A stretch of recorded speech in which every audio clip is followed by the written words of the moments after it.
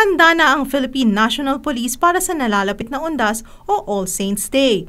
Para sa kanilang Oplan Kaluluwa, sinabi ni Police Chief Director General Ronald De La Rosa na sakop ng Oplan Kaluluwa ang seguridad sa lahat ng sementeryo at matataong lugar. Kasama na dito ang mga paliparan, pantalan at bus terminal.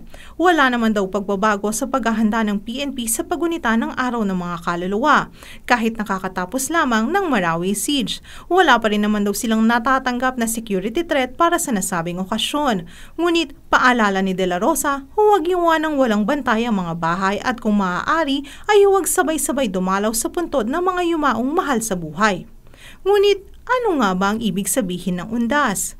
Sa ating mga Katoliko, ang tinatawag na Todos los Santos o Araw ng Lahat ng Mga Santo ay ang paggugunita at paghingi ng tulong sa mga ito, kilalaman o hindi. Tumatama ito sa unang araw ng Nobyembre at taliwas sa ating nakaugalian, sa ikalawang araw pa lamang ng Nobyembre dapat nating pagnilayan ang ating mga mahal sa buhay na yumauna.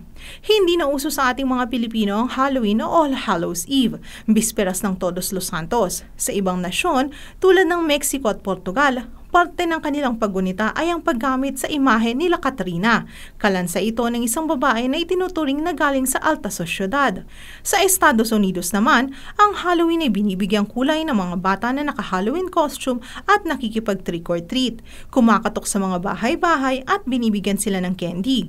Sa atin, ginagamit naman natin ang bisperas ng Todos Los Santos para linisin ang puntod ng ating mga mahal sa buhay.